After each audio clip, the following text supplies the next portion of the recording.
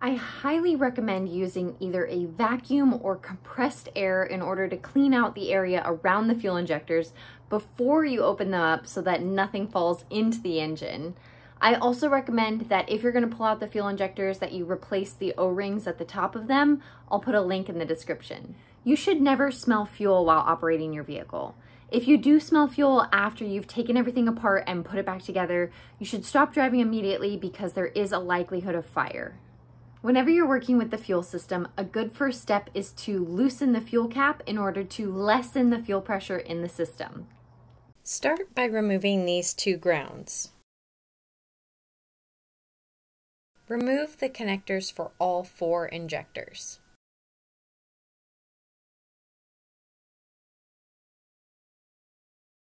Disconnect the wiring harness from this holder so you have some slack. Remove the two 12 millimeter bolts that hold the fuel rail. Just be careful not to bend the hard line on the driver's side of the engine.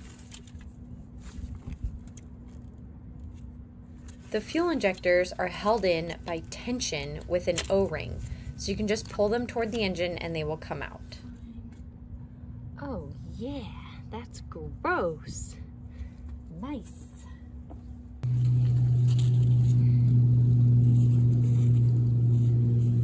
This is my setup. I took a couple of inches of fuel hose, or you could also use heater hose and a hose clamp, and attached it to the end of the injector. I attached one alligator clamp from the battery positive and one from battery negative. With power on, I closed the circuit with the negative in order to open the injector while creating pressure by blowing into the end of the heater hose. I suggest only using carb cleaner and filling the fuel hose with ample amount before you start blowing. So you're gonna get kind of close so you can see the stream coming out the bottom. And all I'm doing is creating pressure.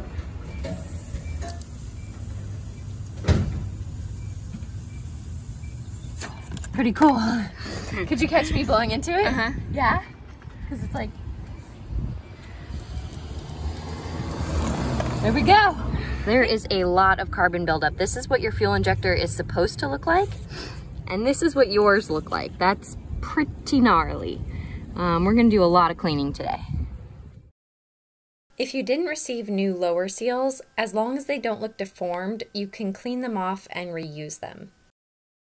When reinstalling the fuel rail, you'll need to hold the rail down while you cinch up the two 12mm bolts. Then they get torqued to just past hand tight between 10 to 14 foot-pounds.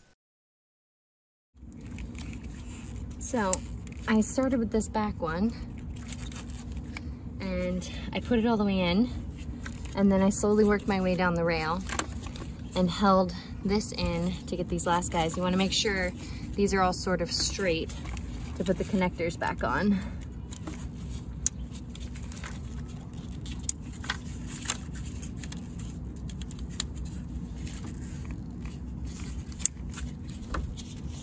And I'm just gonna check and make sure there's no leaks. Can torque the two 10 millimeter bolts to 5 to 7 foot-pounds. The easiest way to check for leaks is just to open the driver's door. That will cause the fuel pump to prime and you can check to see if there's any fuel dripping out of the injectors or the fuel rail.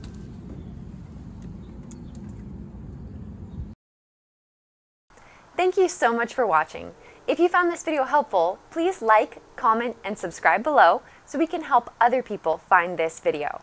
I offer automotive education and consulting, so if you need help completing this job, my contact information is in the description below.